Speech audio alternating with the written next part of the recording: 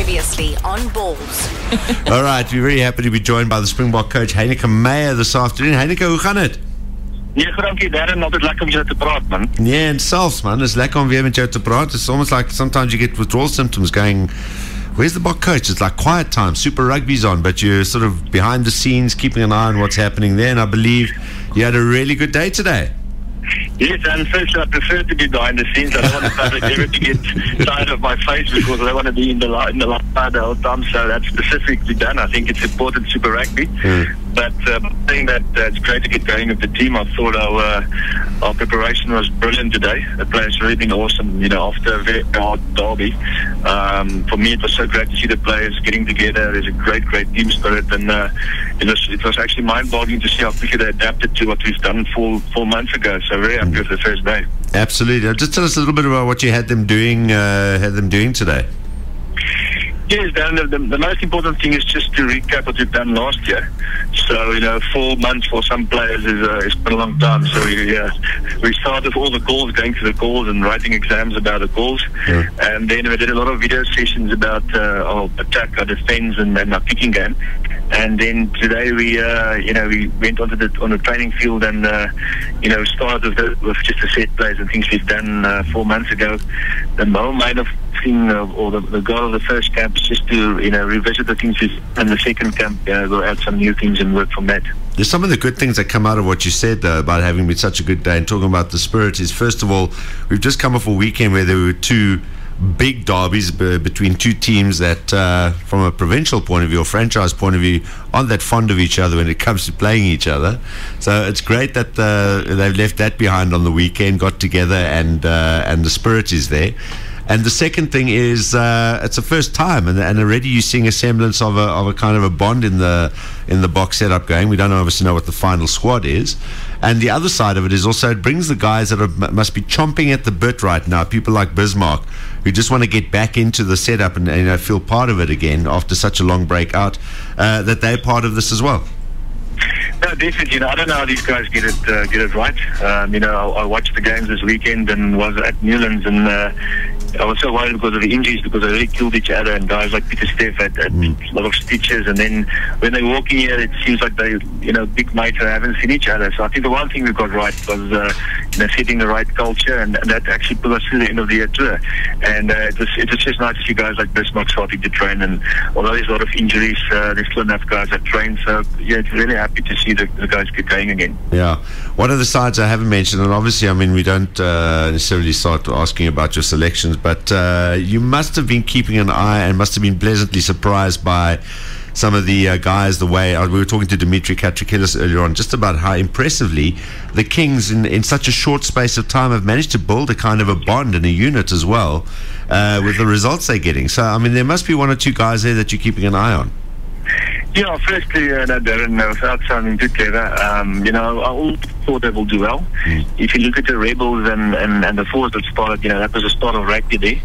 But if you look at that Rebels team, there's a lot of guys there that, that, that I've rated before, and a lot of the guys I've coached, you know. Yeah. So uh, a lot of those players have played Super Rugby, uh, probably at other franchises, and didn't, and didn't get uh, probably the amount of game time they would have liked. But at least they had some sort of experience. I think what they did brilliantly is, you know, to get them together and, and playing for a cause. And, you know, you have a lot of so-called average players that's angry, playing for each other and playing for a cause. You know, it's a difficult team to beat. I think they've got a they've got a good coaching staff going there, and uh, they've got a big back of force, a, a, very good defence, and a kicking ten. And then, you know, if, if you have that going with, with a great, great, team spirit, you can win games, and they've shown that. Mm. On the uh, on the side of personnel that you've got, um, you must sort of sit through Super Rugby, obviously with your short list in each position, obviously with combinations with a view as well. Just how how has the have have the injuries that we have suffered affected you in that way? Are you happy that in every position and with a view to the combinations you might want to be looking at for certain games, that there's still enough depth for you to be comfortable comfortable with what you got? Yeah, I think uh, I think because we had a bigger squad last year of all the injuries, and a lot of guys were, they were had to have a big squad, and uh, so I think in that regard um, we covered. But I think where we're not covered is the experience. You know, we've lost a lot of experience, and Andries is going now, and John Ray and Mornay. Um, you know, that's not the ideal situation because I don't want to build every single year. So there's a lot of great players leading as well. So although there's although there's depth, um, you know, last year we've lacked a lot of experience. It showed away from home. And uh, it's a pity that few of the senior players are, are leaving as well. But I think what's been great is that you know guys like Orange Charles has came through as a leader, and I think John has been an exceptional captain, and uh, you know Brian and a lot of other guys put their hands as leaders as well. So although got, I'm quite happy with the depth at certain positions, uh, we lack a little bit of experience in those positions. All right, what's uh, what's up next now? What's what's the next step? Yeah, we, we, we finish tomorrow because we also realize that it's, it's Super Rugby and, uh, you know, they've also got a competition to win. Yeah.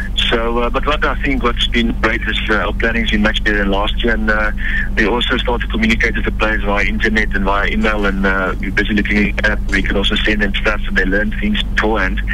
So it's just a matter of revisiting them and I think the thing that the, the coaching team has got right is visiting the franchises.